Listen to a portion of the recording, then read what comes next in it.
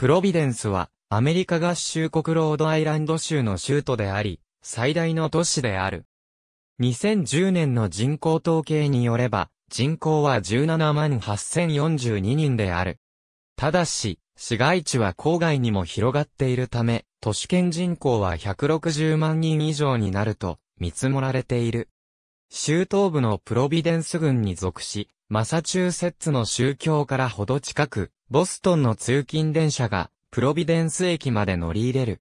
ニューイングランド地域では、ボストンに次いで2番目に大きい都市と認識されている。プロビデンスは米国で最も古い都市の一つで、1636年に入植が始まった。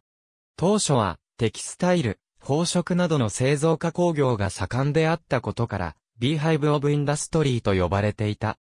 今日では、学術、文化都市としての側面が強くなり、 Creative Capital、 The Renaissance City などの異名を持っている。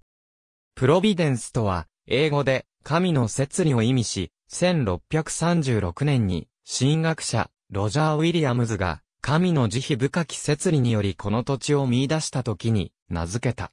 ウィリアムスは、マサチューセッツ州で、ピューリタンに追放されて、ロードアイランドに至ったものである。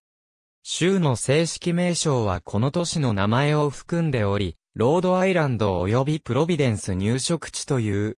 ロードアイランド州では、プロビデンスの都市部を指すのにダウンシティの名が使われるが、この後の起源は今日では不明である。北緯41度49、25整形71度25、22に位置する。面積は53.2平方キロメートル、内陸地面積が47.8平方キロメートル、水地面積5.3平方キロメートルで、面積の10%が水面である。プロビデンス川の河口に位置する。2000年の人口統計によれば、住民17万3618人、6万2389世帯、3万5873家族が市内に住む。人口密度は3629.4平方キロメートル。67,915件の住宅が建ち、その平均密度は1419.7平方キロメートル。人種別で見ると、住民の54.53%は白人、14.54%はアフリカ系、住民1.14%はネイティブアメリカン、6.01%はアジア系、0.16%は太平洋諸島出身者である。その他の人種の住民は17.55%を占め、6.08%が複数の人種の祖先を持っている。住民の30.03%はヒスパニック系、またはラティノ系。プロビデンスの都市圏には隣接するマサチューセッツ州、フォールリバー及びロードアイランド州オーウィックが含まれ、この2都市を合わせた人口は118万8613人に達する。地元住人の多くがイタリア系アメリカ人でマフィアの影響の大きい町としても知られている。その他、ポルトガル系アメリカ人の人口も顕著である。インドシナ紛争以来東南アジア系の移民も増え、全米で屈指の規模のカンボジア系やモン族系コミュニティがある。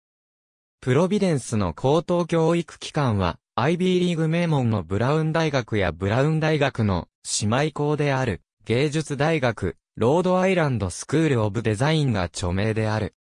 その他にも、ロードアイランド大学プロビデンス校、プロビデンスカレッジ、そして料理専門学校が前身である、ジョンソンウェールス大学等がある。ブラウン大学のある、プロビデンス東部は、歴史的景観を残し、アメリカ歴史協会の指定する、歴史的建造物保存地区のうち最大のものである。ブラウン大学の存在は、地元経済に多大に貢献している。一方、不動産を含めた物価の上昇の要因であると、地元住人たちは大学に対し必ずしも良い感情を抱いてはいない。プロビデンスの空港としては、近郊ロードアイランド州オリック市にある TF グリーン空港が使われる。プロビデンス駅は北東回廊の主要駅である。アムトラックの旅客列車が発着するほか、ボストンの通勤電車であるアボタコミューター路線が乗り入れている。ありがとうございます。